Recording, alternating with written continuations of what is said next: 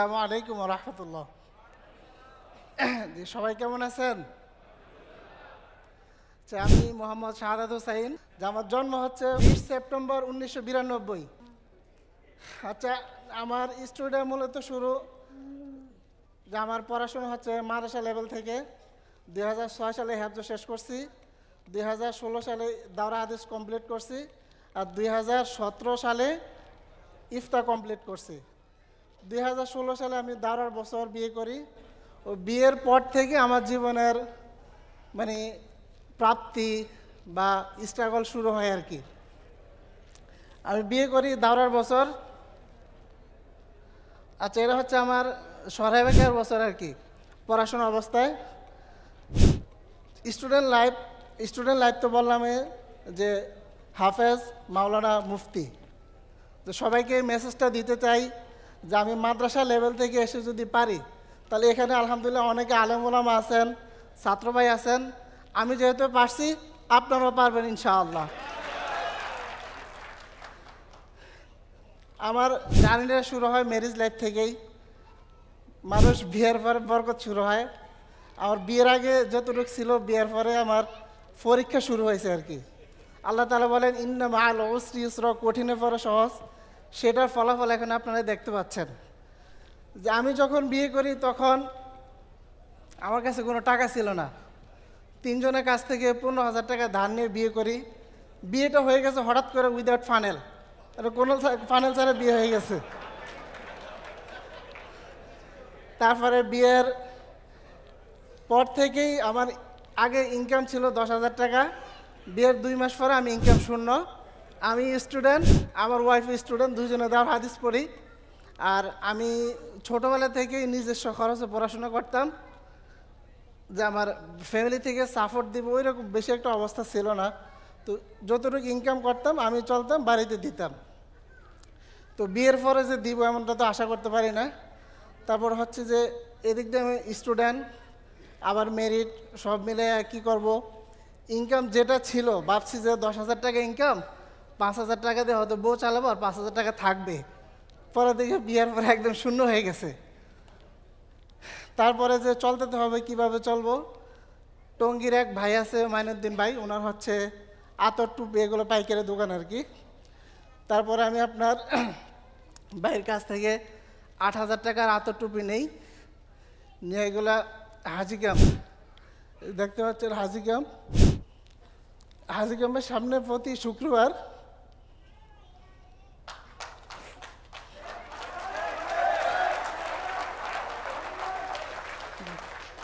হাজি ক্যাম্পের সামনে প্রতি শুক্রবারে যাইতাম। তাই পাঁচ, ছশো টাকা বিক্রি হইতো। ওটাতে আমি পরে শুক্রবার পর্যন্ত চলতাম আর কি। তো এভাবে চলতেছিল দাঁড়া বছরটা। মানে অনেকে হয়তো বুঝতেছেন দাওরা, অনেকে হয়তো বুঝতেছেন না। মানে আমরা মালানা যেটাকে বলে আর কি ওই বছরটা। পরে যখন আমার ফাইনালি দাওরা শেষ, এভাবে চলছে দাওরা বছরটা। দেখা গেছে দাওরার বছর, মানুষের পাশে একটা বাসা নিয়েছিলাম এক সপ্তাহের জন্য। ও স্টুডেন্ট আমি স্টুডেন্ট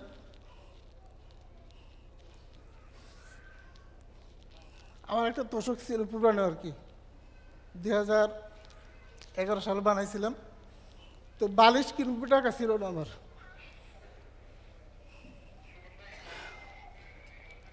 বালিশ কেনার টাকা ছিল না। দেখা গেছে, তোষকের এক মাত্র বইটা দুজনে ঘুমাইছিলাম।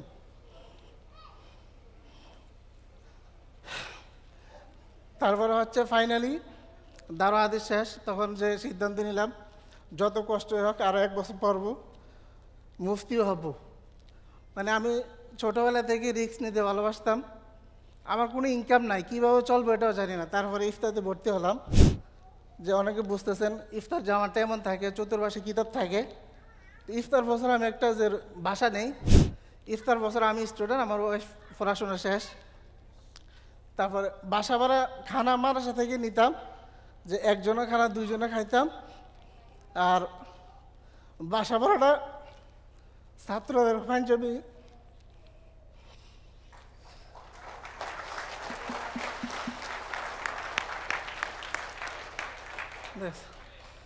ছাত্রদের পাঞ্জাবি বাসাতে মাদ্রাসা থেকে বাসায় নিয়ে আয়রন করতাম। ওই টাকাটা দিয়েও বাসা ভাড়া দিতাম। তারপরে ইফতার ইফতার শেষের দিকে ফুটপাতে বসে আর কি। যে হাজি ক্যাম্পে যাওয়া হয় না, ওটা হচ্ছে বারো নম্বর খালপার। মসজিদের সামনে আতর নিয়ে বসতাম আর কি। শুধু বিকালে যাইতাম আর মাগরেবের সময় চলে আসতাম। তারপরে হচ্ছে আপনার যখন ফাইনালি পড়ালেখা শেষ ইফতায় তখন কিছু একটা তো করতে হবে। ইফতার বছর আমার স্বপ্ন দেখতাম আর কি যে মাসে বিশ হাজার টাকা ইনকাম করব, পাঁচ হাজার টাকা বাসা ভাড়া দিব, পাঁচ হাজার টাকা খাব পাঁচ হাজার টাকা বাড়িতে দিব আর পাঁচ হাজার টাকা সঞ্চয় করব। এটা হলো ইফতার বছর আমার স্বপ্ন ছিল যে মাসে বিশ হাজার টাকা ইনকাম করব। আমরা যারা মাদ্রাসা লাইফে পড়াশোনা করি, তাদের কাছে বিশ হাজার টাকা অনেক আপনারা হয়তো জানেন যারা মাদ্রাসায় চাকরি করে, তাদের বেতন সর্বোচ্চ দশ থেকে বারো হাজার টাকা, তাও ছয় মাস বাসে, বাকি থাকে তারপর হচ্ছে আপনার দাওরা ইফতার শেষ করার পরে আমি কোনো চাকরিতে ঢুকলাম না ওই যে যে আতর বিক্রি করতাম, ওইটা নিয়ে আসি। তখন দেখলাম যে আমার মাসে পনেরো থেকে বিশ হাজার টাকা খরচ। আমার বাবুটা হয়েছে দু হাজার আঠারো সালে ছেলেটা। তখন দেখলাম যে আমার হচ্ছে না। তখন কি করলাম, অনেক কষ্ট করে তিরিশ হাজার টাকা জোগাড় করছি। চল্লিশ হাজার টাকায় মোটর সাইকেলটা কিনছি, দশ হাজার টাকা দিতে পারি নাই। তো এই মোটর সাইকেলটাতে আমি যে ফুটপান্ডা, পাঠাও রাইড শেয়ার সব মিলে করতাম, আবার মানুষের চাকরিও করতাম, একটা তিন হাজার টাকা বেতন, ইমামতিও করতাম, সব করতাম। দেখা গেছে মাস আমার বারো তেরো হাজার টাকা হইতো, পঞ্চাশ হাজার টাকা ইনকাম মানে স্বপ্ন ছিল যে ক্যালকুলেশন করছি যে পাঠাও, সব মিলে হয়তো আমার মাসে পঞ্চাশ হাজার টাকা ইনকাম হবে, কিন্তু তাও হচ্ছিল না। মানে কোনোভাবেই বিশে মানে পনেরোর উপরে যাচ্ছে না ইনকাম কিন্তু খরচ তার থেকে বেশি। তারপর আমি ফাইনালি যখন হচ্ছে না, তখন আমি যে আতুটুপি নিয়ে থাকি তখন আমার মাথায় আসে যে হয়তো ফ্রিল্যান্সিং করলে হয়তো যে মাসে পঞ্চাশ হাজার টাকা ইনকাম করা সম্ভব। তখন ফ্রিল্যান্সিং করব কীভাবে? আমি তো কম্পিউটারে নাই, আমি তো ইংরেজিও জানি না, যেহেতু হুজুর মানুষ। আর ছোটোবেলা থেকে আমার পড়াশোনা মাদ্রাসায়। তখন আমি আত টুপি নিয়ে আসি। তখন দু হাজার বিশ সাল চলে, হঠাৎ করে চলে আসলো করোনা। যখন করোনা চলে আসলো, বাড়িতে চলে গেলাম। বাড়িতে গিয়ে আপনার পঁয়তাল্লিশ দিন ছিলাম। পঁয়তাল্লিশ দিন থাকার পরে পনেরো রমজান। পনেরো রমজান আমি চলে আসি। তখন আমার ছেলেটা, আমার ওয়াইফ তখন তো গাড়ি ঘোড়া চলে না ট্রাকে করে চলে আসি। আর আমার বাসার মধ্যে যে এগুলো আতর টুপি এগুলো কিনা ছিল আর কি, যেহেতু রানিং চলতেছিল। তখন লাস্ট পনেরো দিন মানে রমজানের লাস্ট পনেরো দিনে আমার কাছে দেখলাম যে ঈদের দিন আমার কাছে আটত্রিশ হাজার টাকা হয়েছে। মানে আমার একটা টিউশনি ছিল, ওইখান থেকে ছয় হাজার টাকা দিছে। আবার আমার একটা চাচাতো ভাই বিদেশ থেকে কিছু হাতিয়ে দিল। সব মিলে আটত্রিশ হাজার টাকা হইল। তো করোনা যেহেতু বাসা ভাড়া বাইজে গেছে, কিছু বাসা ভাড়া দিলাম। আর লকডাউনে যখন বাড়িতে ছিলাম তখন খুব চেষ্টা করছে একটা পিসি কেনার জন্য মানে কম্পিউটার কেনার জন্য। তখন পরে যে আটত্রিশ হাজার টাকার ভিতরে একটা কম্পিউটার কিনলাম, বাসা ভাড়া দিলাম সব কিছু মিলে লাস্টে আমার কাছে ছিল আর তিন হাজার টাকা। এটা হচ্ছে রমজানের পরে একত্রিশে মে, তিন হাজার টাকা ছিল।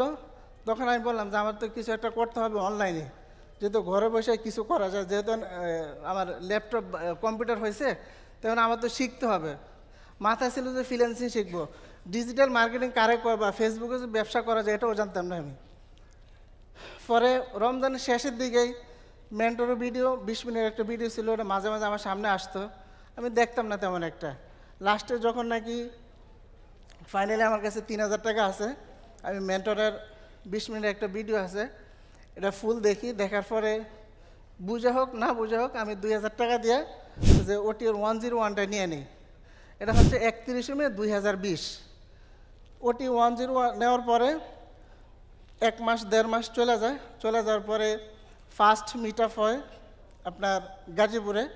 তখন শর্ত ছিল যে অ্যাডভান্স মেম্বার হতে হবে। অ্যাডভান্সের দাম ছিল পনেরো হাজার টাকা। তখন একটা ডিসকাউন্ট দিয়েছিল যারা দশ হাজার টাকা। তখন অনেক চেষ্টা করছি টাকা ম্যানেজ করার জন্য, যে আমার দশ হাজার টাকা মিল হয় নাই। আমি যে বিআরটিতে নামাজ পড়াইতাম, ওইখানে চার পাঁচ মাসের বেতন বাকি ছিল। পরে এখানে গিয়ে যখন বেতন পাইলাম না, অবশেষে রাত্রে আইসা জুলাই মাসের পনেরো তারিখে আমি এই পোস্টটা করি ওয়ান জিরো ওয়ান গ্রুপে তখন অনেকেই সহযোগিতা করতে চাইছে। ফাইনালি আব্দুর ভাই।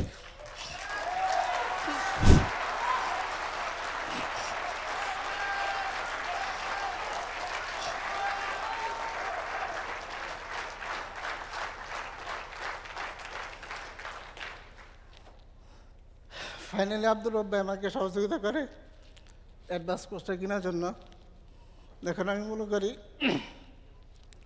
যে আমি যদি হাজার কোটি টাকাও ইনকাম করি, তার সঙ্গে পাঁচ হাজার টাকার ভ্যালু অনেক ছিল।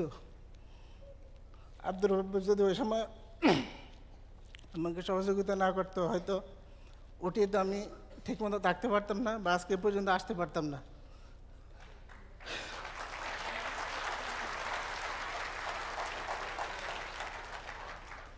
তারপরে চেষ্টা করতে থাকি যে কি করব, কি নিয়ে শুরু করব, কিছুই তো মাথায় আসতেছে না। পরে পরিচয় হয় আলামিন সরকার ভাইয়ের সাথে। আপনারা হয়তো অনেকে চিনেন বা চিনেন না বা অনেকে জানেন না যে আলামিন ভাইয়ের সাথে আমি শুরুতে কানেক্ট ছিলাম। তখন আলামিন ভাই আমাকে অনেক সাপোর্ট করছে, আলামিন সরকার ভাই। আমার কাছে তো কোনো কার্ড ছিল না। মানে বিজনেস করব, টাকাও ছিল না আইডিয়াও ছিল, কোনো প্রোডাক্টও ছিল না। তখন বিভিন্ন জিনিস নিয়ে ট্রাই করতাম। আলামিন ভাই সাপোর্ট দিত, যে উনি অ্যাড রান করে দিত ওনার কার্ড দিয়েই। পরে অনেক কিছু করার পরে আপনার জানুয়ারির সাত তারিখে আলামিন সরকার ভাইয়ের সাথে বিজনেসে পার্টনারে বিজনেস শুরু করি। এক মাস কন্টিনিউ করার পরে সোর্সিংয়ে কিছু সমস্যা ছিল, ওইটা আর কন্টিনিউ হয় নাই। পরে এক মাস গ্যাপ যায়। পরে আমি আবার নিজে নিজে চেষ্টা শুরু করি আর কি। এটা হচ্ছে ফেব্রুয়ারি মাস বা মার্চ মাসে চেষ্টা শুরু করি। ওইভাবে চলতেছিল, চারটা, পাঁচটা চারটা, পাঁচটা। এইভাবে চলতেছিল, আলহামদুলিল্লাহ। আপনার দেখেছি কিছুদিন অ্যাড বন্ধ থাকে কিছুক্ষণ পরে মানে একদিন চলে ফেস চলে যায়, আবার একদিন চলে অ্যাড অ্যাকাউন্ট চলে যায়।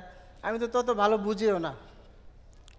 পরে অক্টোবর মাসে আসে ফিফটিন ডেজের প্রোগ্রাম যেটা অনেকের লাইফ চেঞ্জ করে দিছে। এর মধ্যে ওটা আমার জীবনে সবচেয়ে বড় টার্নিং পয়েন্ট ছিল, যে আমি বিজনেস নিজে না করে বাদ দিয়ে আমি এক মাসের জন্য ফিফটিন ডেজে জয়েন হয়ে যাই। ফিফটিন ডেজের পরে আলহামদুলিল্লাহ আর পিছনে তাকাইতে হয় নাই। আপনারা দেখতে পাচ্ছেন যে এটা এখানে একটা ছোট একটা রেজাল্ট এটা হচ্ছে চার কোটি একানব্বই লক্ষ উনাশি হাজার চারশো এক টাকা।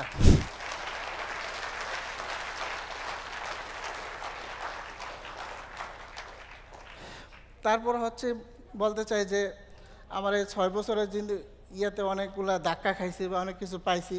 পাওয়াটা ওটি ওটিতে আসার পর থেকে ধাক্কা তো ওটিতে আকারে খাইছি। এর ভিতরে অনেক কিছু করছি যেগুলো বলা আসলে স্বল্প সময় সম্ভব না। আমি যখন পড়াশোনার পরে যখন বাসা নেই, তখন একটা বাসাতে সাবলেট থাকতাম। তো সাবলেট যখন থাকতাম, আমার ফ্রিজ ছিল না। একটা রুম আমি থাকতাম, আমার যার সাথে থাকতাম, ওনার ফ্রিজ ছিল। তো উনি একদিন হঠাৎ করে আমার বাড়ি থেকে দুধ দিছিল বাবুর জন্য। উনি হঠাৎ করে একদিন দুধটা নামাই দিয়েছে ফ্রিজ থেকে। আমি তো বললাম, ভাই, কী হয়েছে? পরে বলে যে ফ্রিজ ঠান্ডা করতে, দুধ ঠান্ডা করতে ফ্রিজের অনেক কষ্ট হয়, যার কারণে ফ্রি কারেন্ট বিল বেশি আসবে। উনি এই জন্য আমার দুধ নামাই দিছে পরে যে গত এক সপ্তাহ আগে যেটা দেখতে পাচ্ছেন, এক লক্ষ টাকায় ফ্রিজটা আমি কিনছি।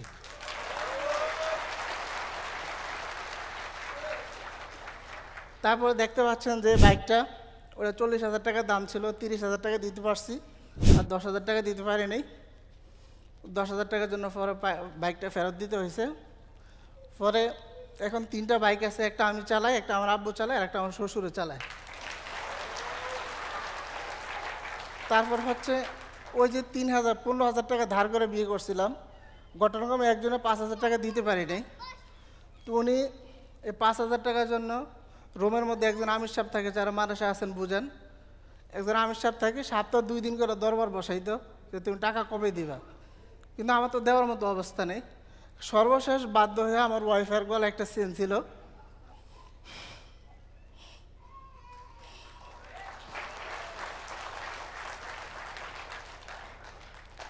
আমার ওয়াইফের গলা চেনটা বিক্রি করে, পাঁচ হাজার টাকা ঋণ শোধ করি। ওই যে ওর গলা চেনটা বিক্রি করছি, গত পাঁচ বছর চেষ্টা করছি যে ও চেনটা দিতে পারি নাই। গত দুই হাজার বাইশ সালে আমি সাড়ে ছয় লক্ষ টাকা স্বর্ণ কিনে দিছি ওকে, সবাইকে। তারপরে আমার যে মাসে বিজনেস শুরু করি, আলামিন সরকার ভাইয়ের সাথে, ওই মাসে আলামিন ভাই সরকার ভাই জানেন যে বাড়িওয়ালা আমাকে বাড়ি থেকে বের করে দিছে, ভাড়া বাঁচছিল দুই মাসের। তো উনি বাহির করছিল একুশ সালের জানুয়ারিতে, এখন হচ্ছে তেইশ সালের জানুয়ারি। মাঝখানে গেছে হচ্ছে আপনার বাইশ সালের জানুয়ারি। এই দুই বছরের মধ্যে আলহামদুলিল্লাহ মেন্টর গিয়েছেন, যে আমার এখানে উত্তরের মধ্যে পাঁচ কাটা জায়গা আছে এবং বাড়ি করার মতো আলহামদুলিল্লাহ ক্ষমতা আছে। তারপরে দেখতে পাচ্ছেন, আমি যখন আতর বিক্রি করতাম, যারা হজ করে আসতো, উমরা করে আসতাম, সবাইকে জিজ্ঞাসা করতাম যে, ভাই, কত খরচ হয়েছে? তো ওই সময় করোনার আগে কম ছিল, হজ উমরা করতে সত্তর হাজার টাকা প্যাকেজ হয়ে যেত। তখন বসে বসে আফসোস করতাম যে, আমার কাছে সত্তর হাজার টাকাও নয় আমার উমরা করা হবে না। তো আলহামদুলিল্লাহ গত বাইশ সালের সেপ্টেম্বর মাসের সাত তারিখে আমি নিজে উমরা করছি। আর এ রমজানে আমি আমার ফুল ফ্যামিলি আমার আব্বু, আম্মু, শ্বশুর, শাশুড়ি, ছেলে মেয়ে, মোট আটজন আগামী রমজানে ইনশাল্লাহ উমরা যাব। এর জন্য গতকালকে আমার আব্বু, আম্মু, শ্বশুর, শাশুড়ি সাতজনে পাসপোর্ট করা হয়েছে।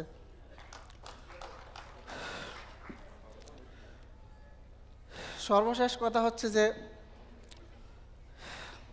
আমি যদি পারি আমি এই অবস্থা থেকে উঠে আসা যদি পারি বা আপনারা পারবেন না কেন? বা আমি কীভাবে পারলাম? যদি সংক্ষেপে একটু পরামর্শ দিতে চাই, তাহলে কয়েকটা জিনিস মেনে চললে আপনি আমার মতো পারবেন, ইনশাআল্লাহ। এক নম্বর হচ্ছে আপনার ফোকাস ঠিক থাকতে হবে। আমি একটা প্রোডাক্টে অনেক দিন বিক্রি করছি, অনেকে বলে, ভাই, আপনি তো পাঁচ সাত আট দশটা প্রোডাক্ট বিক্রি করতে পারেন। তাই বলছি, না, যদি আমি একটা বিক্রি করি তুমি আট, দশটা প্রোডাক্ট একটা করে বিক্রি না করে আমি একটাই দশটা বিক্রি করব। তারপর হচ্ছে সঠিক গাইডলাইন আমি এখন মানে পার্সোনাল ড্রিম বা লং ই থাকে না, যে আমার ইচ্ছা আছে ইনশাল্লাহ আমি বিমান কিনবো।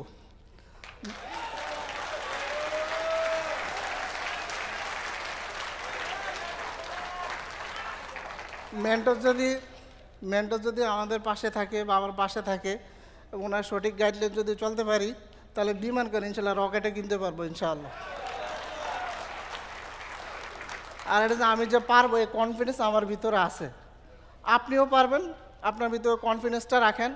আমাদের সবচেয়ে দুর্বলতার জায়গা হচ্ছে আমরা নিজেরা ছোট মনে করি। যে আমি কি পারব কি পারব না, আমাকে দিয়ে মনে হয় হবে না। আমার এমনও হয়েছে যে আমি আপনার একটা অ্যাড আঠারো বার রান করছি এক রাত্রে। ইন রিভিউতে যাওয়ার আগে রিজেক্ট হয়ে যায়। ওই সময় তো এত বুঝতাম না। তা আমি যদি ওই সময় তিনবার চারবারের পরে যদি বলতাম থোড়া আমার দিয়ে হবে না। তাহলে হয়তো আমি ওই যে ফুটপাতেই থাকতাম বাস।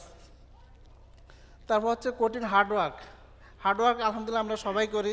এটা যদি গাইডলাইন মেনে করি বা সঠিক ওয়েতে করি, তাহলে ইনশাল্লাহ আমরা সবাই সাকসেস হব।